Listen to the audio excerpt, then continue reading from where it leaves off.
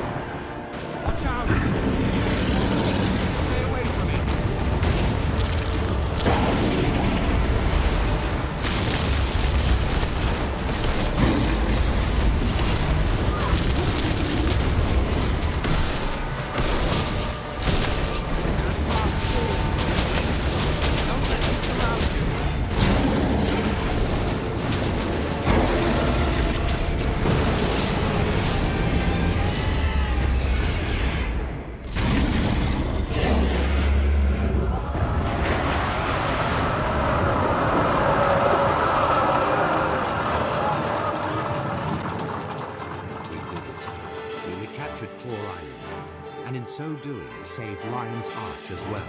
I do not know what lies ahead of us, my friend, but for the first time, I. Hope this alliance can save Tyria from the dragons.